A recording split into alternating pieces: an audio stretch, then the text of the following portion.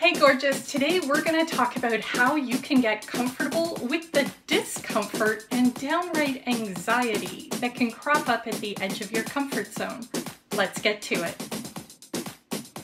Welcome to the Powerhouse, Vanessa Long here, coach, trainer, and creator of Discovering Your Passionate Purpose, the Business Building Foundations, and the Seasons of Success.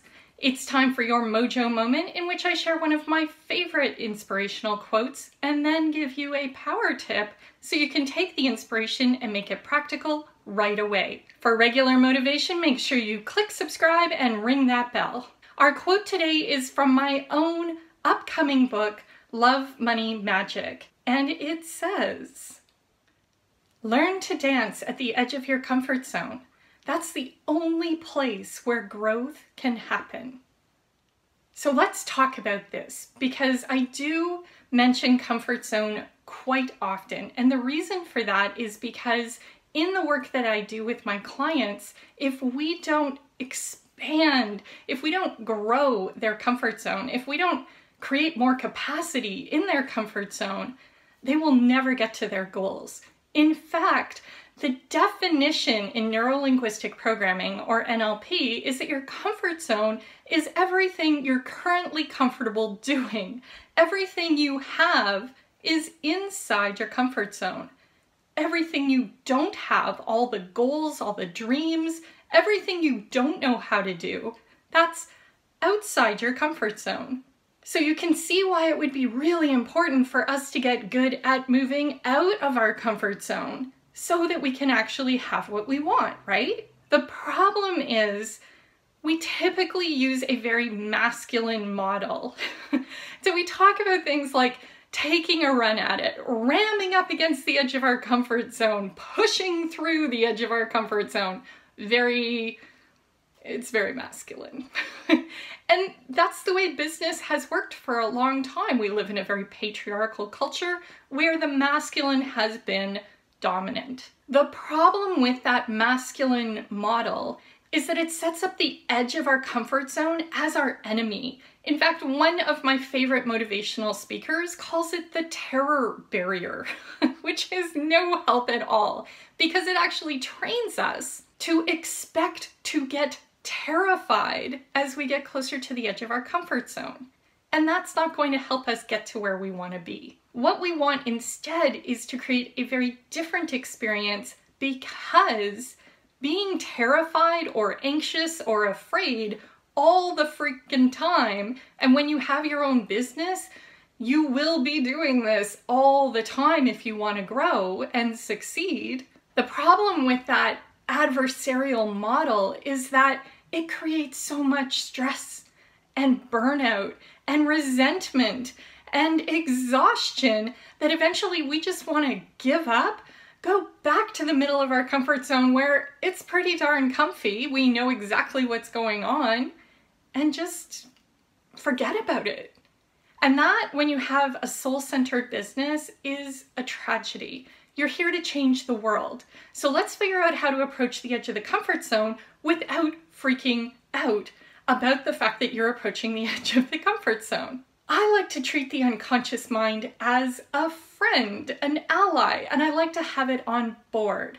And the other problem with this adversarial model is that when we're constantly slamming up against the edge of the comfort zone, we can trigger an abreact. And that abreact is our unconscious mind freaking out. Why? Because the most important rule, the, the most important guideline, its primary directive is to keep us safe. And its definition of safe is probably not the same as yours. When I'm training coaches in NLP, what I explain is that your unconscious mind will kill you to keep you safe. What is unsafe to the unconscious mind is anything new. Anything new is unsafe. And since outside the comfort zone is new, right? You haven't been there before, that's why it's uncomfortable. The unconscious mind actually perceives it as unsafe and it doesn't want you to go there. So you actually need to figure out a way to get your unconscious mind on board with the idea of doing something new. And that is no small task. It takes a lot of conversation and a lot of persuasion. But if you don't do it, if you just stay in that masculine model of like running at the edge and slamming up against the edge, what will happen is it will blow up. Your unconscious mind will sabotage you and yoink you back to the middle of your comfort zone where you will be sitting and licking your wounds for the next few years. If you watch business people or celebrities or sports figures, you can actually hear the boing as they get yanked back into their comfort zone. In fact, we've seen it again and again, haven't we? Where someone with a really bright future, tons of potential, blows it up in the most spectacular of ways, and then we never hear from them again. Why does that happen? It happens because of ancient wounding and ancient programming that makes it unsafe to go for whatever it was that was outside the comfort zone. So let's find a different way to do it. Here's what I suggest.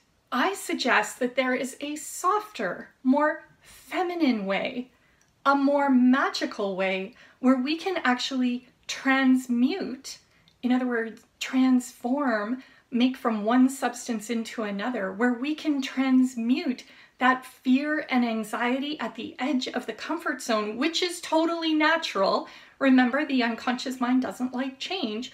We, with our conscious mind, can work with the unconscious to transmute that anxiety into excitement, into anticipation, into something that will boost us into the new thing. And this is what I talk about in the Seasons of Success, where I'm explaining moving from the line of fate to the line of destiny. When we get into destiny, our unconscious mind is actually supporting us instead of constantly dragging us down. So imagine how that would feel that when you went in to do something new, instead of feeling anxious or afraid, you felt excited because you truly knew, you had complete cellular congruence that what you were stepping into was part of a divine plan for your life, that it was part of your destiny. Doesn't that feel different? Well, that's what happens when you get into this beautiful divine alignment where you are moving towards your destiny and that's when you can create real change. To get more on this, I've linked the Powerhouse Success Cycle checklist in the description. It'll give you a little mini training, seven steps on how to create that real change. Change that changes you, your world, and the whole world. I know you're here to build a new world. This is how you do it. What's your nugget of gold today? What did you learn, realize, or remember that you can use right away to make your life better? What's one thought that you can bring up as you get close to the edge of your comfort zone that will really help to transmute that fear energy into joy and excitement? Let me know in the comments and I'll see you there. Help others to see this video by sharing it out with your powerhouse peers, clicking the thumbs up, that's super helpful, and if you haven't already, subscribing. And if you're feeling really keen, ring that bell so you get notified whenever we put up new content, which is every week. For those of you Mojo Masters who know to hang around until the end of the video, here is your bonus power tip. It isn't just dancing. Remember the quote was, learn to dance at the edge of your comfort zone. The dance is this energetic give and take with our unconscious mind, the divine, and the universe. We're all dancing together. But it isn't just dancing, it's play. That's the energy that we want to bring in here. We want this to be fun. I've learned that it is actually possible to have fun while you're creating a life you love and building a business that actually makes money. And for most of us, we were not brought up that way. We were taught, especially if you have that archetype of the wounded healer and you're a soulpreneur, we were taught to be very serious. We were taught to be very small and we were taught to be very safe. For many of us, play wasn't an option.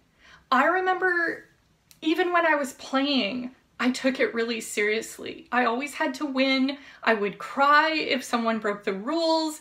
I couldn't handle it when anyone did anything unexpected because that triggered all my feelings of unsafe. And it has taken decades to unravel that.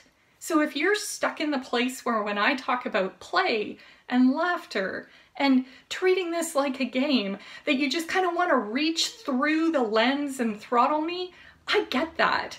I get how scary play can be. And that's the reason that this is so hard for you right now. When you learn how to play, you'll be able to treat this experience much more gracefully, find that ease in your life that you've been looking for, and have fun. Not to mention the freedom that put you into this business in the first place.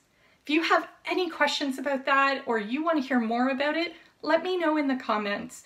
Don't forget to get that real change success cycle checklist it'll walk you through what real change looks like because it isn't about being busy, it's about doing what really matters. And that's it for today's Mojo Moment. Thank you so much for being here. Thank you for watching, and I'll see you in the next video.